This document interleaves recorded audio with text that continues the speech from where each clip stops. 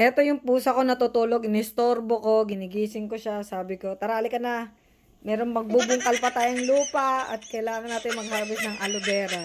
Kailangan kasali ka dito. Yan ang, kaya hinampot ko yung pusa ko. Yan siya. Tara!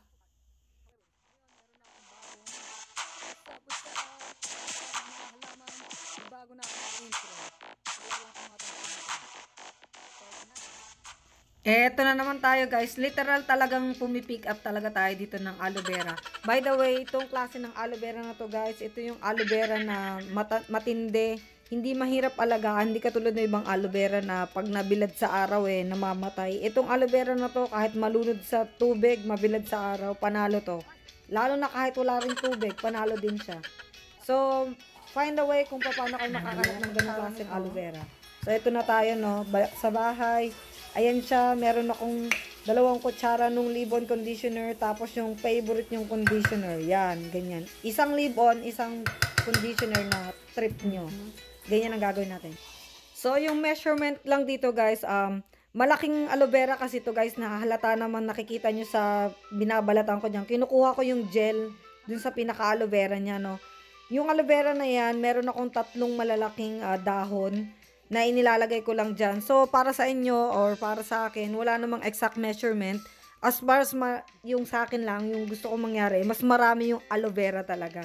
So, dalawang kutsara lang, tig dalawang kutsara nung conditioner na type nyo, at saka yung leave-on, yung sinasabi ko nga, dalawang kutsara din ng leave-on conditioner.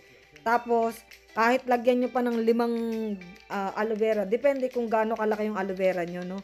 Sa akin kasi, mas gusto kong mas maraming aloe vera. Kasi ini iniiwanan ko yan sa buhok ko eh. Habang, ayun nakita niyo naman yung buhok. Yung buhok ko dyan, hindi pa nakaayos yan. Pero, pag pumapasok ko sa trabaho, kailangan kasi nakatali yung buhok. Eh, syempre, marami tayong bagong tubong buhok. Kaya, tumatayo-tayo sa ulo, ang pangit tignan.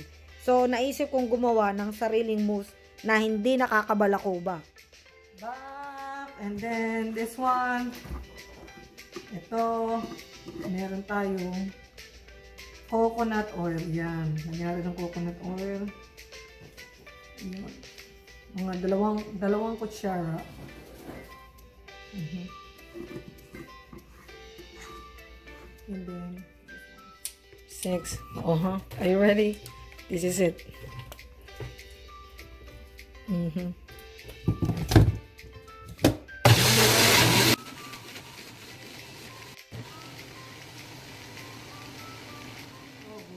Natin.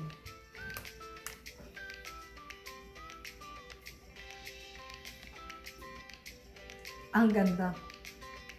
Ang bango. Panalo. Ito yung mga remedies na bagay na bagay sa mga taong busy or tipong masyadong occupied ang oras. Halimbawa, maraming yung sa anak natin, yung mga ganyan. Siyempre, nahahati yung oras mo. Wala kang oras mag-condition ng buhok mo, no? So, ito guys, ito the same time, meron ka ng mousse na talagang may aloe vera na bababad sa ulo mo. At the same time, hindi mo na problema na, uy, kailan ko pagagandahin tong buhok ko. Kasi, ito na yung pinaka-mousse mo sa buhok mo. Masasabi ko ito yung the best. Na-try ko to sa sarili ko talagang it works perfectly talaga. As in. Dami pa rin, no? Um, Charan. Ito na siya. Practice. Practice. Eh, ito yung the best na mousse na sigurado ka sa vitamins and minerals na nakalagay sa ulo mo. Sure ball na sure ball ka. At base sa experience ko, talagang dumami yung hair regrowth ko. Talagang dumami yung Sabi tubo ng buhok mo. Ito yung pinakamagandang um, uh, hair uh, mousse or whatever. Kasi yung mga nabibili nyo sa store, katagalang gamit nyo, nagkakaroon kayo ng balakubak. Ako napansin ko eh, sa lahat ng ginagamit ko sa yung nabibili ko eh. Katagalang gamit ko, Siyempre, gusto mo maayos yung buhok mo, di ba? Lalo na yung sa work natin. Pag nag-work tayo, gusto natin planchado. Malinis yung parang Ariana Grande, di ba? Yung kay Ariana Grande, ganun. Binat na binat. Yung ganun ba, planchado, malinis. Pag malinis tignan, mas maganda, di ba? E lalo na kung mas malambot pa sa buhok. Ngayon, na-try ko na rin kasi to, lalo kung nasa arawan ka. Sa init ka, tapos ganito yung conditioner mo lalagay mo sa buhok mo, panalo eh. Yung buhok mo, hindi yung, alam mo yung pagmusang ilalagay mo, parang antigas na nakakagigil. Dahil sa marami pa siya, ayan o, marami pa. Ito na siya. Ito na ilalagay mo sa parang pinakapamada mo sa iyong buhok. Hindi, sa gilid. Oh. Tapos babasahin lang ng konti ng tubig para mas lalo siyang smooth. Pero ito, guaranteed, sigurado, walang walang mga buhok na natatayo-tayo. Yung mga ganun na. Yung mga buhok nung nakatayo. Maghapon to guys, hindi, hindi tatayo yung mga buhok-buhok nyo. So ito, minsan, di ba yung mga, lalo na yung mga buhok na may kulay, katulad itong sa akin yan. Lagyan mo lang siya ng ganyan. Ayan o. Yan. Tapos, dahil ito concentrate, lagyan mo lang ng konting tubig. Kuha tayo ng tubig, no? Saraan ito, tubig. Labig natin yan, ha? Ito yung tubig natin. So, ito, basahin mo lang ng konti ng tubig. Yung tubig yung kamay mo. Yan. Ito is para lumabnaw lang yung yung conditioner para hindi masyadong concentrated para yung buhok mo flat. Ariana Grande. Pero Ariana Grande na at the same time yung buhok mo naka-conditioner, naka-aloe vera ka pa, panalo ka talaga. Yan. Ganyan. Basahin mo ng konti ng tubig. Dagdagan mo ng tubig. Pag nakalagay na sa buhok, no? Doon mo nalalagyan ng tubig para lang ma-dilute yung conditioner. Yan, ganyan. Tapos ito, di ba nalagyan na natin itong dulo mo to. Yan, basahin mo ng konti ng tubig. Yan. Kung gusto mong dagdagan, pag feel mo na gusto mong medyo makapal kasi yung buhok ko guys, dahil nga rin dito sa kaka-aloe vera mo, pag lalo tumatanda na tayo, no, nagkakaedad, kailangan alaga mo yung buhok mo talaga. Kasi kung hindi, malalagas yan sa stress. Hindi lang sa stress, kung hindi naman masyadong stress, sa pagtanda mo rin. Mga babae, pag tumatanda, lumalagas ang buhok. Yan. O, ba? Guaranteed to guys, sabi ko sa'yo, walang tata yung buhok dyan. Maayos yung buhok mo.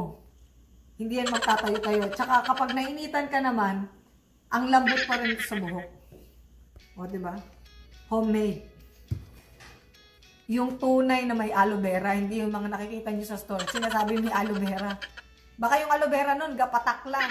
Tapos paglagay mo sa ulo mo, parang walang epekto. Marami na ako nasubukan ganyan eh, may aloe vera daw. Paglagay mo sa ulo mo, parang wala naman, di mo may epekto. E paano yung nilalagay nilang aloe vera? Hindi naman ganun karami, tsaka na-process na. Ikaw mismo maglagay ng aloe vera, sure ball ka. O, ba? At the same time, habang the next day, pag maliligo ka, yung buhok mo nakababad sa vitamin and minerals ng siguradong aloe vera at coconut oil na nilagay mo. Kung gusto mo, lagyan mo ba ng argan oil, avocado oil, lahat ng oil, gusto mo ilagay mo na rin yung mantika yung pang prito, pwede rin. O, di ba?